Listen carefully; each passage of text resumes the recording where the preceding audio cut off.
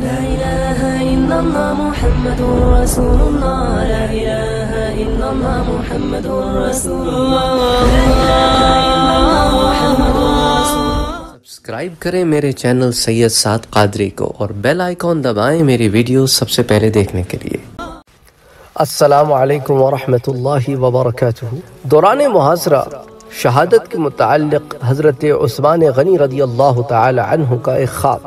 حضرت عبداللہ ابن عمر بیان کرتے ہیں کہ حضرت عثمان نے ایک مرتبہ صبح کے وقت لوگوں سے باتیں کرتے ہوئے فرمایا رأيت رسول اللہ صلی اللہ علیہ وسلم لیلت فی المنام. میں نے آج رات رسول اللہ صلی اللہ علیہ وآلہ وسلم کو خواب میں دیکھا۔ آپ صلی اللہ علیہ وآلہ وسلم نے مجھ سے فرمایا، یا عثمان، اے عثمان، افطر عندنا، آج روزہ ہمارے ہاں افطار کرنا۔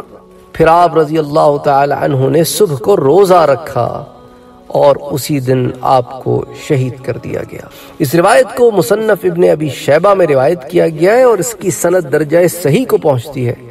اسی طرح اس کو امام حاکم نے المستدرک امام حاکم میں روایت کی۔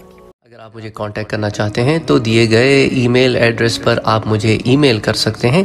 اسی طرح آپ ہمارے ٹویٹر کے اکاؤنٹ کو جوائن کر سکتے ہیں۔ انسٹاگرام پر آپ ہمیں فالو کر سکتے ہیں۔ اور فیس بک پر بھی آپ ہمارے ایک سے زائد پیجز ہیں۔ ایک انگلش میں، ایک اردو میں انہیں فالو کر سکتے ہیں۔ تو اگر آپ کو کوئی سوال ہے تو آپ یوٹیوب پر بھی پوچھ سکتے ہیں۔ اور ان اور مختلف پلیٹ فارم اگر آپ نے ابھی تک ہمارے چینل کو سبسکرائب نہیں کیا ہے، تو سبسکرائب کا بٹن دبائیں، بیل کے آئیکن کو پریس کریں تاکہ آپ کو ریگولر نوٹیفیکیشن اپڈیٹس مل سکیں اور آپ ہمیں ہمارے لائیو سیشنز میں بھی جوائن کر سکیں۔ ویڈیو پسند آنے کی صورت میں لائک شیئر اور کمنٹ کرنا نہ بھولیں۔